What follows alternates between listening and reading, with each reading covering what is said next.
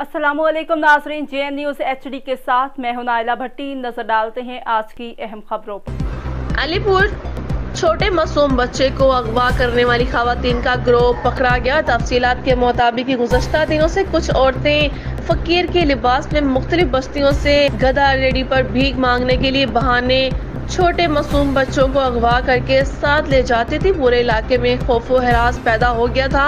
Ambrose वही खातन अगवाकार ग्रोह बस्ती गुलाम मोहम्मद से बच्चे को अगवा करके बोरी में डालकर चौंक परमट से एक और बच्चे को अगवा करते हुए पकड़े गए। मजीद हमारे साथ लाइन मौजूद है। नुमाइंदा J N news, Waqas Akhtar Baloch, इनसे बात कर लेते हैं। जी वकास, अपडेट कीजिएगा। हाँ जी तफसीत के मुताबिक खोता रेडियो पर सवार फ़कीर नुमा औरतों ने बस्ती ग़ुलाम मोहम्मद से बच्चे को अगवा करके बोरी में डाला और उसके बाद परमट चौक पर बच्चे को अगवा करते हुए पकड़े गए हैं। अहल इलाका ने जब तलाशी की तो बोरी में बंद एक बच्चा बरामद हुआ। अहल इलाका ने अच्छी छित्रोल के बाद जहानपुर चौकी के हवाले कर दिया और साथ साथ ये वाक़ तहसील अलीपुर सदर थाना की अदोद बस्ती सिखानी में भी पेश आया है, जहाँ पर लोगों को पता चलने पर औरतों का गिरोह बच्चे छोड़ कर मौके पर फ़रार हो गया जी?